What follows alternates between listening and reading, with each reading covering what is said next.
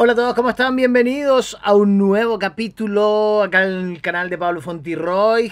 15 horas con 8 minutos y se van filtrando los primeros nombres del futuro gabinete comunista del presidente electo marxista Gabriel Boric. Y vamos analizando los primeros eh, nombres que llegaron a esta humilde redacción, a esta trinchera patriota, porque se van cayendo las caretas de a poco. Hablamos del primero, el primer nombre enviado por el Partido Comunista Gabriel Boric, hablamos de Fernando Monsalve.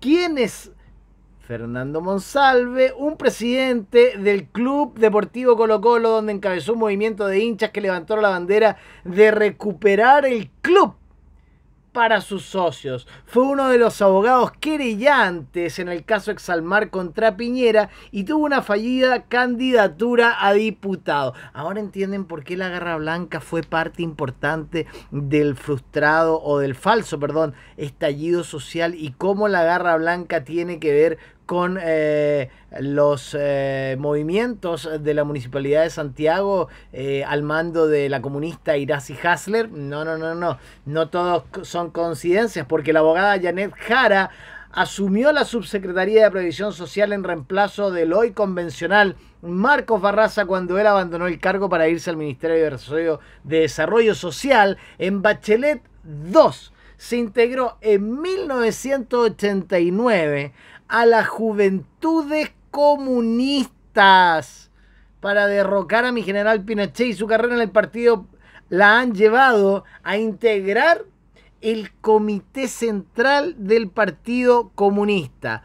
Otro nombre que se vislumbra en un futuro ministerio gobierno del eh, marxista Gabriel Boric y hablamos del economista Fernando Carmona fue uno del. fue el coordinador programático de la campaña de Daniel Jadwe, o sea que valió hongo. Y luego se integró al equipo de Boric, donde tendió puentes con algunos de los asesores más estrechos del presidente electo.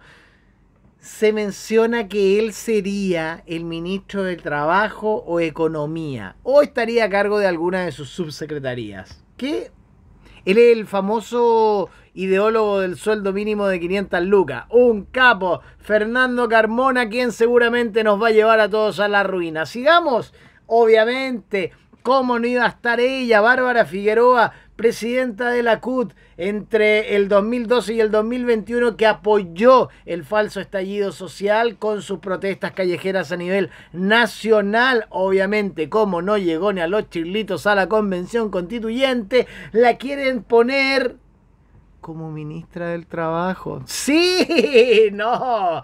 No me digas que no te he dicho, porque también hablamos de un abogado de la Universidad de Chile, Jaime Gajardo, el hijo del expresidente del Colegio de Profesores, un comunista de tomo y lomo. Fue el hombre del PC en las conversaciones de 25 constitucionalistas de todas las tendencias políticas antes del plebiscito trucho. Se desempeñó como fiscal del Ministerio de Desarrollo Social entre 2015 y 2018. Urgen a ver cómo le fue. Y también, obviamente, ella, la feminista que tiene muchos cabros chicos. Hablamos de la diputada Camila Vallejo que integra el círculo del presidente electo. Y ella sería nombrada como ministra de la mujer.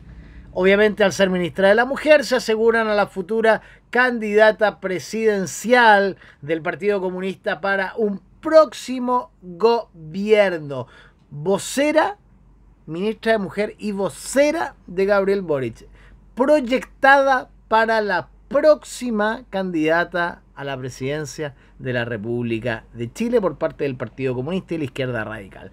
¿Cómo la ven? Información fresquita. Comparta entréguela, que todos sepan antes que hoy no se vayan a enojar en la moneda chica porque estamos comentándole a toda la gente quiénes son los nombres de eh, los eh, comunistas que van a estar destruyendo esta nación.